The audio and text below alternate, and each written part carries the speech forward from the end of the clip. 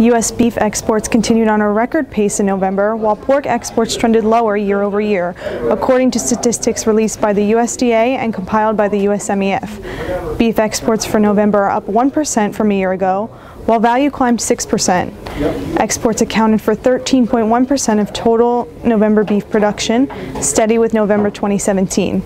For January through November, exports equated 13.4% of total production, up from 12.8%. These numbers highlight the strong international demand for U.S. beef as exports are accounting for a larger share of growing U.S. production and are fetching higher prices, with some U.S. cuts trading at record prices in Asia.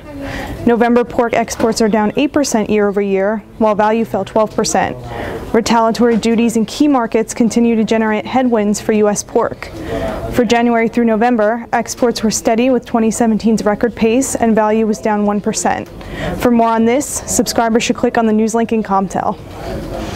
Now we'll take a look at Urner Barry's HRI Buyer's Guide, a weekly publication dedicated to current commodity prices being paid to wholesalers and purveyors by hotels, restaurants, and institutions. Here's account manager Jennifer Mack with the latest movers of the week.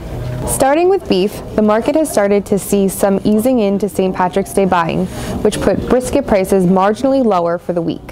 This may not be a trend yet if last minute buyers need to sneak some purchases in. After rallying from early January lows, shell egg prices once again fell last week. Retail features, winter weather, and production adjustments helped to drive the uptick, but all those factors have gone the other direction since. Promotion has slowed, temperatures have moderated from the extreme cold, and production is coming back as preparations begin for Easter. Lastly, in the turkey market, sluggish buying outreach, in conjunction with adequate to fully adequate levels of spot availability, has resulted in some sellers swaying on their asked values. This pushed drumsticks down just over 5% on the week. Thanks, Jen. That concludes our show for today. Thanks for watching and be sure to visit Comtell for the latest market and industry news.